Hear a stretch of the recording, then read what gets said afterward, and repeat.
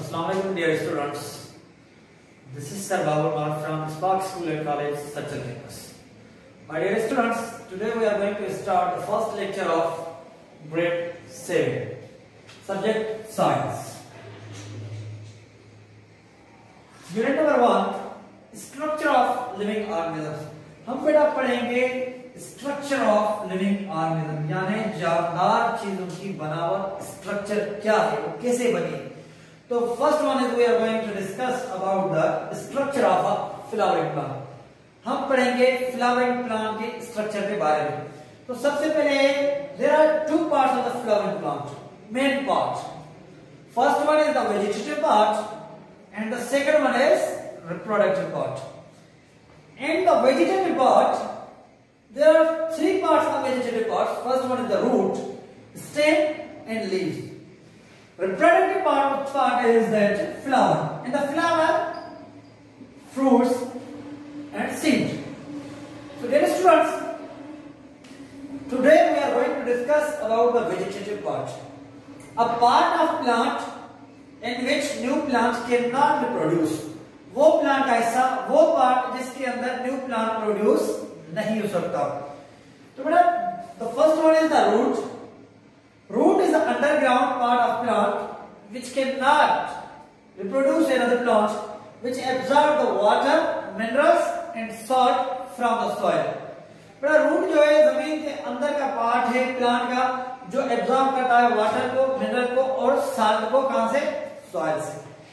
बड़े दूसरा है stem different types of roots are in different plants fibrous roots adventitious root तो different roots होती है प्लांट्स के अंदर तो लेकिन हम सिर्फ़ रूट का इंट्रोडक्शन पढ़ रहे हैं। तो इंशाल्लाह कल हम नेक्स्ट लेक्चर के अंदर डीपली पढ़ेंगे रूट के बारे में स्टेम के बारे में और लीव्स के बारे में। तो next one is that stem it is the part of plant which grows above the ground बेटा प्लांट के अंदर जो स्टेम होती है, वो कहाँ पे ग्रोथ करती है? Above the ground like that look at white board this is the time this is the plant in this plant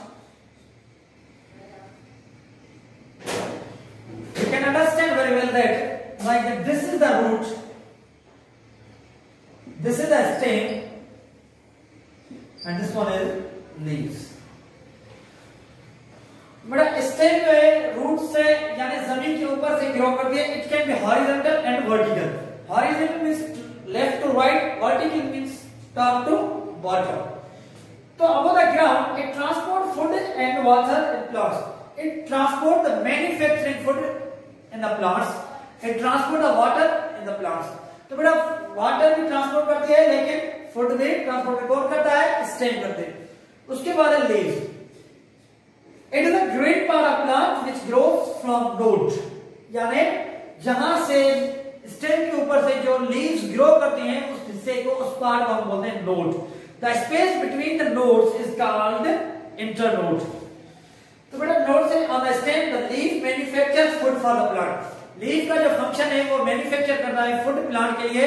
और दूसरी बात the process in which plants make their own food in the presence of sunlight is called photosynthesis बड़ा ये general introduction तो मैंने दे दिया, लेकिन स्टेम का काम ट्रांसपोर्ट करना है। लेकिन how can we transport the food through the plant वो प्लांट के अंदर खाता, खाना और पानी कैसे ट्रांसपोर्ट करती है?